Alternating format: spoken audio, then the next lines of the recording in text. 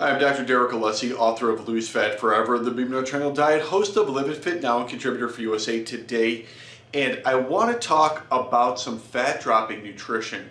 When I meet with people during a private fat loss fitness consultation, we spend a lot of time talking about blood sugar, insulin, and how to control it so we have better health and we drop body fat. During that time, I introduce a term that I'm sure a lot of you have heard about, and that is the glycemic index. So the purpose of this video today is to make sure that we understand and you can see exactly how the glycemic index works, what it means, and why it's important to you. So I start here at this whiteboard, and really it comes down to this. I'm going to draw this out, and by no means am I a graphic artist. This would be a representation of blood sugar. If your blood sugar stays in a range, a very small range, during the day between about 80 and 120, that's very good. It's excellent, especially from the morning, afternoon, into dinner and beyond. If your blood sugar stays in a small range, the better. The smaller the range, the better health and the better energy you're going to have. Now, the danger occurs when we eat in a way in which we have many frequent high blood sugar spikes throughout the day. So whenever blood sugar is being elevated, it can cause a problem. And the problem is that this would be a picture of a blood vessel. And when blood glucose goes high, when we eat things that are high in sugar, high in carbs, bread, ice cream, cereal, milk, juice, alcohols, candy, ice cream, pretzels, things like that, what happens is our blood vessels fill up with these little red dots. These little red dots are sugar molecules. And the reason why they're bad is because it's kind of like if you had a garden hose at home. And instead of water in the hose, you put acid in the hose, and acid stayed in the hose for any amount of time. It eventually will eat through the hose. Well, the same thing happens to your blood vessel. The blood vessels get damaged the more often and the longer that sugar stays inside your bloodstream, which of course is extremely bad. Nobody wants any type of damage to the blood vessel, and the reason why that's important is because the most amount of blood that we have in our body is in our organs. And that ultimately is the reason why people with high blood sugar, diabetics, eventually have diseases of the organ. It can be everything from the eyes, it could be the brain, and not just stroke, but also dementia. And keep in mind, dementia is in seven stages. The seventh and worst is called Alzheimer's disease, which is fatal. And a lot of health organizations are now calling it type 3 diabetes, which means if you have type 2 diabetes, you have about a 90% chance or so of developing dementia and then Alzheimer's, which is type 3 diabetes the heart, and of course the heart is the most well-studied of all the organs when it comes to blood glucose or blood sugar, especially if it's high. The higher the blood sugar, the greater chance you're going to have of coronary artery disease and a myocardial infarction, which is a very fancy way of saying a heart attack. Then on top of it, the liver. In fact, in the 27 years that I've been doing this, I've been seeing more and more cases of fatty liver disease and cirrhosis of the liver that have nothing to do with just the overconsumption of alcohol. So years ago, if somebody had fatty liver disease or cirrhosis of the liver, it was because they were a very addicted drinker. Nowadays, though, it's more likely that they're very addicted to carbs. In fact, the carbs could come in many forms. They could come in, as I mentioned earlier, simple sugars like ice cream and candy and fruit juices and sugar, but it also could come in the form of double sugars or complex carbohydrates such as bread and cereal and pasta and rice and crackers and pizza and, and paninis and all of those things as well it doesn't stop there. The kidneys, the kidneys of course are very exposed. In fact, the kidneys, the vessel walls are extremely fragile and it's one of the earlier places that blood problems happen and it starts causing problems or renal failure and that's the reason why there are so many strip plazas up and down the roads that have kidney or renal failure places. And then lastly, it could cause problems of the arms or legs or the extremities. So a lot of people might develop neuropathy, which can lead into gangrene and then eventually amputation. All of those are really bad things that happen when blood sugar is elevated too frequently, too often, too high. So, what does this mean? Well, it means this, and before all of this bad news sits in, and there's nothing good about it, keep in mind though that your body is very smart. It's intelligent. You were born with a very intelligent security system built in. That security system is called your pancreas.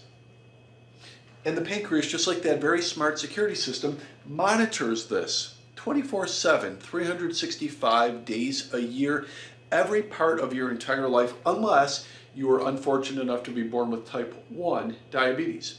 So your pancreas monitors it, and if it detects that your blood sugar is too high and that damage is going to occur to your vessel walls and to your organs, it calls for help and it sends for a messenger to help lower the blood sugar.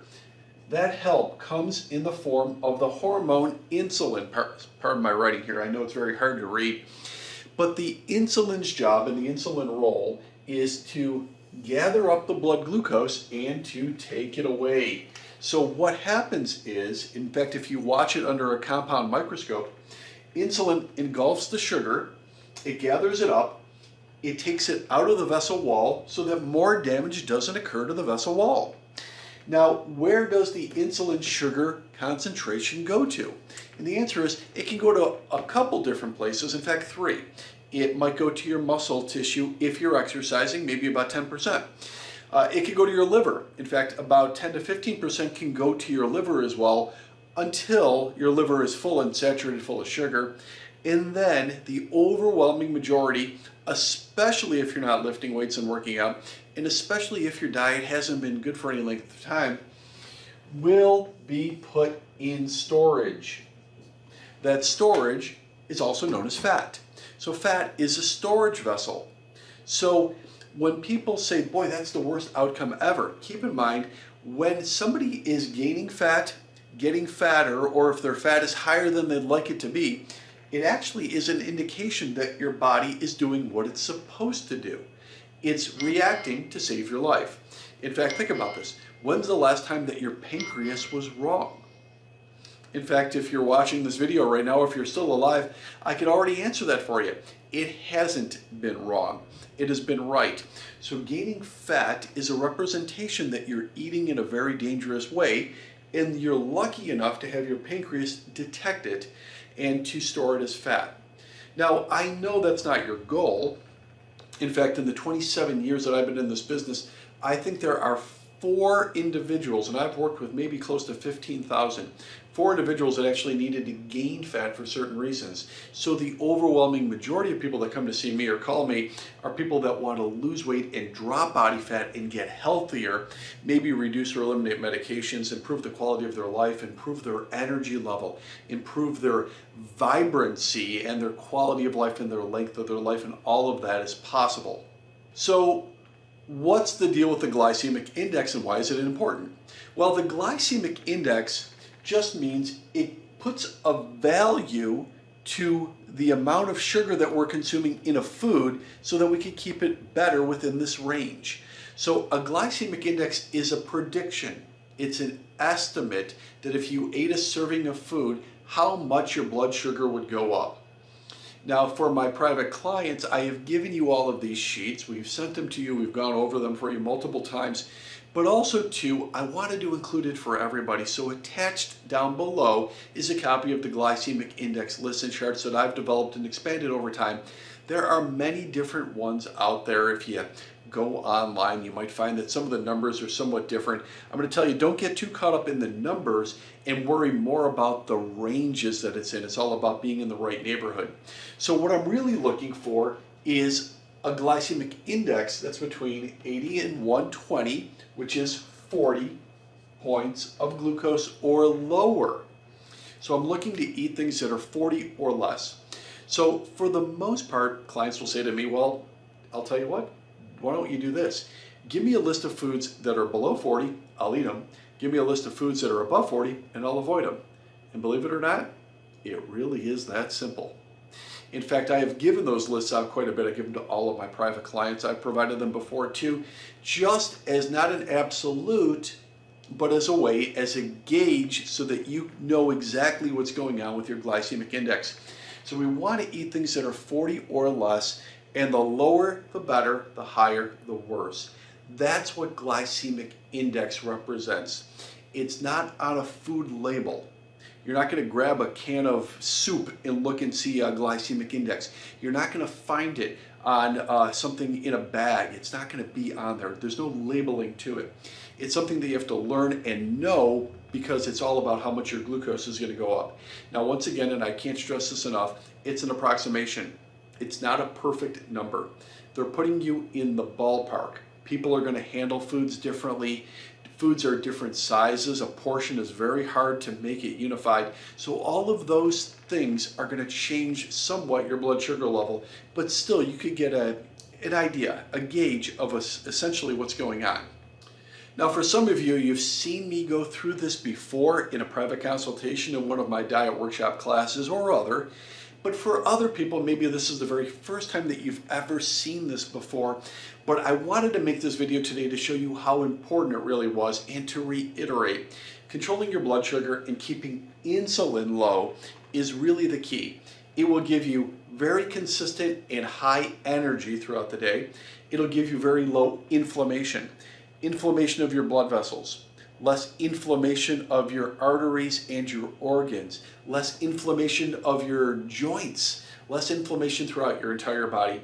And if you could keep inflammation low, you're going to live longer, you're going to live better, you're going to live healthier, and that's ultimately what it's all about. And also, too, you're going to live thinner. As your insulin's low, you're going to keep your body fat low. You're not going to store fat. In fact, you're going to use fat for energy. And when you couple this type of nutrition with the right kind of workout, and if you have accountability and you track the results like we do here with my clients at Dr. Derek, it's all about improvement. It's something we could track and monitor over time. So hopefully today this video served you. Hopefully you learned about the glycemic index and why it's so important and what you could do to start eating better. Once again, attached down below is the glycemic index list.